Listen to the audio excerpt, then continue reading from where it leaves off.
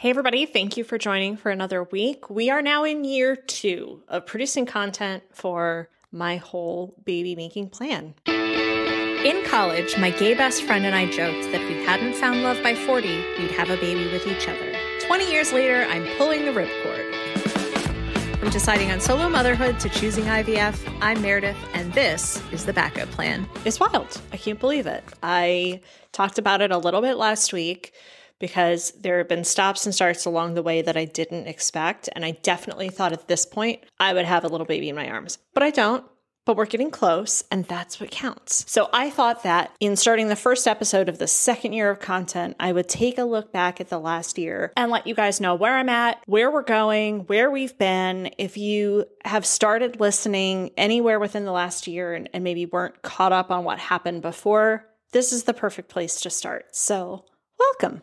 Everything started in about 2022, the end of 2022. I had gone through a whole time, as had we all during COVID. My dad was diagnosed with cancer the week that Trump was inaugurated. So that whole presidency term was pretty tough for me and my family.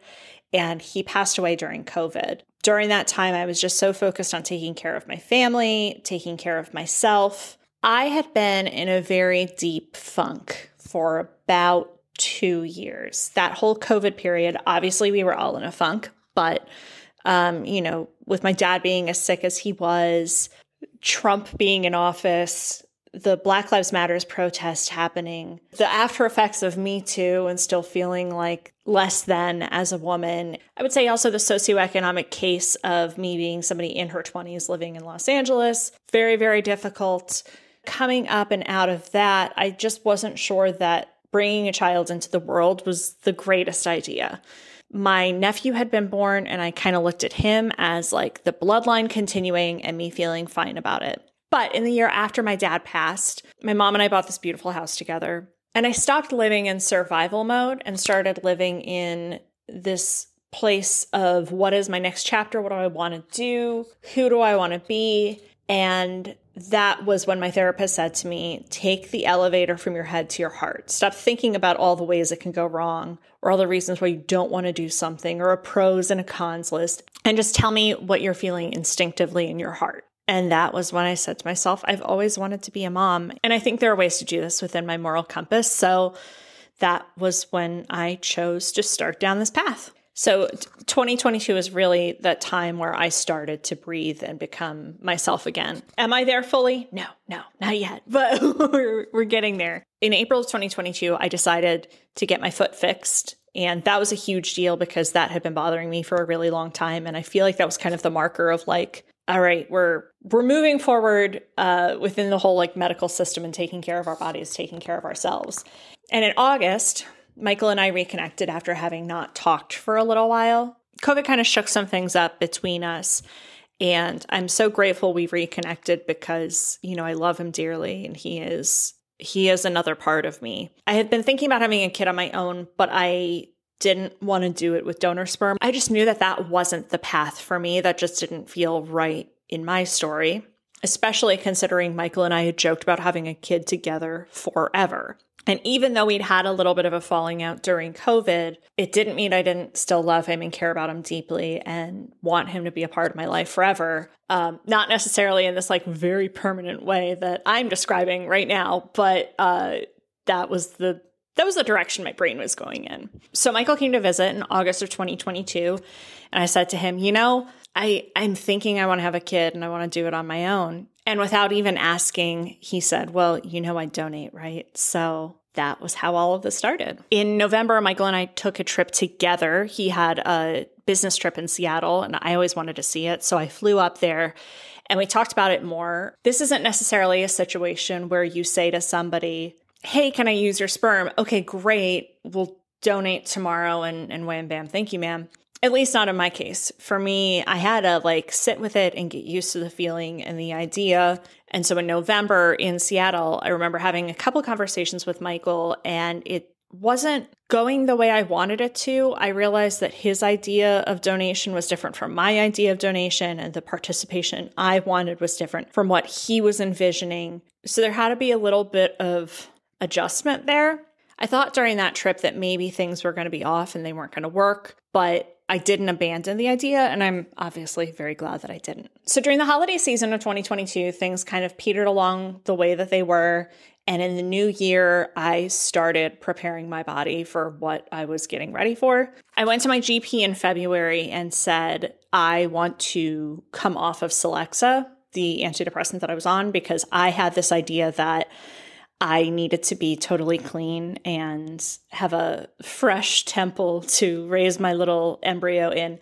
And I thought I was good. I thought I didn't need Celexa. I thought after, you know, taking care of my dad and going through his passing, a year had passed. I was feeling pretty stable and good, I was ready to come off of it. And my doctor helped me come up with a tapering plan, which I started instituting in February. In March, I went to an OBGYN. I did a lot of research and I found one um, in Orange, which is not far from where I live, and let them know my plan. I remember being extremely nervous that they were going to be like, you plan on having a baby with your gay best friend? Like, that's a terrible idea. Also, my plan at that point was to do the baby making via turkey baster. Um, not an actual turkey baster, but a syringe, but the turkey baster method, right? That was what we joked about all the time. And I was like, maybe it's full circle. Maybe this is the way I have a baby. Going to the doctor and telling them I wanted to do it DIY, I was really nervous that I was going to be met with some sort of negative reaction. And no, they were great. The midwife that I met with who conducted my cervical exam said, no, just make sure that when he comes, keep it in the cup close to his body, and that way you lose less sperm in the transfer process. And I was like, oh, okay. At this point in the world, something very big happened, especially if you're a Bravo fan. Um, what would come to be known as Scandoval occurred, and and Ariana Madix is one of my closest friends. I was there for her through that. And in March, that I would say that was a pretty devastating event. And having that coincide with me coming off of antidepressants was a th- it was a thing. um, you know, I remember when it all happened, and I considered him to be a very close friend, so I took it personally. And it was just like loss on top of loss on top of loss, on top of my brain readjusting to dopamine and, and serotonin and, and what have you. So that was difficult. And I had already purchased my tickets to go to Alaska to meet Michael to try this DIY method. And when I look back at that time now, like I was so heavily affected. I didn't think I was. I thought I was fine. I no, I was slowly falling into depression. So then in April, I fly to Alaska and I've totally come off of my antidepressants at this point. I'd been fine, but having it totally out of my system at that point, I crashed hard and I had like a ton of anxiety attacks while I was up there. I questioned everything I was doing. I I actually I ended up flying home a day early because I just wanted to be back in my safe environment so badly and I had planned on us trying a couple of times up there and it didn't happen. We just did the one time and it didn't work. When I look back at it now, I may have had a chemical pregnancy because there were some things that my body did and I felt a little wonky, but you know, it didn't happen and ultimately that's for the best because there was definitely there were some mental hurdles I had to get over in the meantime. So, summer of 2023, what did that look like for me? I mean, I lived, honestly. I went to two different music festivals. I went to Governor's Ball. I went to Life is Beautiful. I hung out with friends. I got back on my antidepressants. I had a good time, and I'm really glad that I did because it just got my head back to the right place. So that come October, I looked at the calendar, I did some alignment and said, okay, here's when I'm going to be ovulating.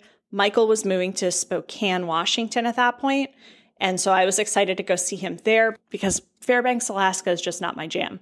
I went to see him in his new place. He had a gorgeous little apartment and we had a good time just walking around the city. He took me to Idaho. I've never been to Idaho, so got to see Coeur d'Alene. And we had a nice time and we did a couple of DIY attempts there. I came away from that feeling really good, feeling that like we accomplished something and we didn't. Nothing happened. Even though we did, I think it was four different DIY attempts that time. we got I got really comfortable with that little sample cup. And we actually we devised a method where he would leave the sample cup and I would go get it. So there was never a handing of the sample cup because that's the awkward. It's just awkward. So at this point, I was kind of faced with a calendar dilemma because the next time that I ovulated was going to be very close to me heading out of town on a huge European adventure with my mom. Super excited about that. We were taking a European river cruise through Christmas markets, um, Germany, Switzerland, France. Like, I was so excited. I didn't know if I should try again so close to traveling. Even though my A number one thing is to get pregnant, having this trip planned so close to the ovulation, I just I didn't know what to do there was enough time to either fly Michael down or for me to fly up. But again, it's another expense, so close to a big expensive trip. And Michael said to me, you know what? Go have fun. Go have a good time. Don't worry about it. Because if you get there and you're not pregnant, that's going to be upsetting. If you get there and you do get pregnant, if you have seasickness, morning sickness, like just have a good time. And so I decided to do that. Coming back home from that would have put me in another kind of awkward schedule of trying to get either to Michael or get him here right around the holidays. And so it's like, okay, well, we'll try again in January. It was also in November that I had my first appointment at Kindbody. For those who don't know, Kindbody is a great fertility clinic. I really love their ethos. I love the people who are running the place, and I've had a really great experience in going there. So definitely check them out. I thought to myself at this point,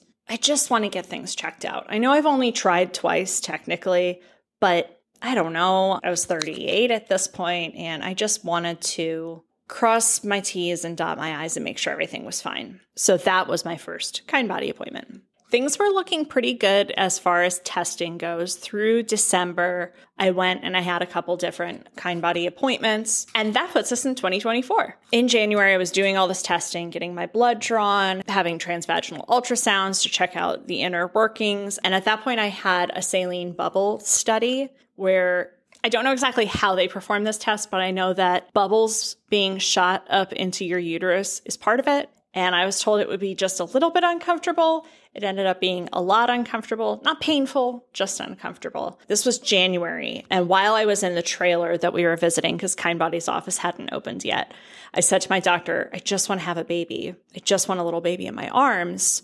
And at this point, that saline bubble study had not given us conclusive results. I was feeling a little bit defeated, and she said to me, You know, IVF is an option if you want to consider it.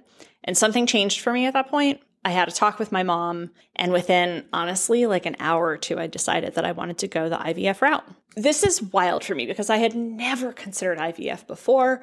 I had actually kind of been against it because to me it felt like playing God. It felt like to the way my brain had been operating, it's like, well, if it's not happening, it's not happening for a reason. And Uh, since then, obviously, my whole world has changed, and I think about IVF in a completely different way. It's not playing God because there's still so many different hurdles you have to get over. And there's so many ways that like miracles are still happening with IVF. And it's not a straight shot. It's not like, oh, I didn't have a baby, so I'll do IVF and now it worked and now I have a kid. It's not like that at all. There's so many different steps along the way. I love the personal growth that I've had on this IVF journey. That also felt easier because towards the end of 2023, there it was like, okay, well, I'll fly up to see Michael or he'll fly down to see me.